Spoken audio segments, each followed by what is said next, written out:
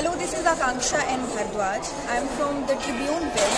Today we are at Lovely Professional University and I am standing right in front of a very interesting stall.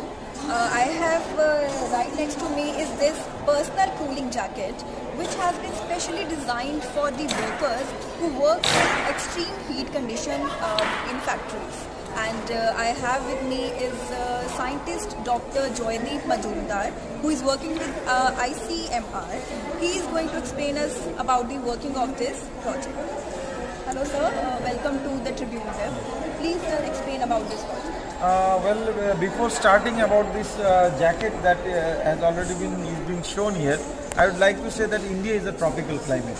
Maximum time of the year, we get lot of heat all around the country except some of the uh, winter areas.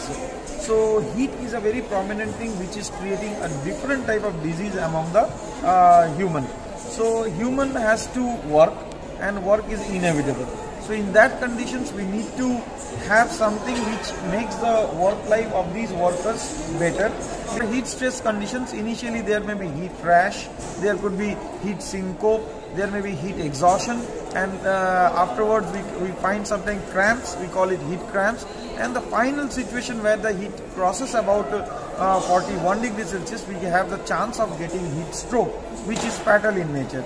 So to restrict these conditions, we thought of designing something which would be beneficial to the workers in terms of cooling the temperature of the body and not reaching up to the level of 41 degrees Celsius.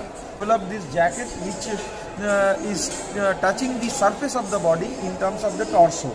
So on the torso, the temperature we try to relieve down and functionally help the temperature being regulated by the hypothalamus of the body.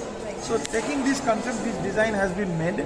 So you can see this uh, jacket, this personal cooling garment which would help the workers to uh, work uh, very smoothly as well as the work life of the, of the workers would be increased.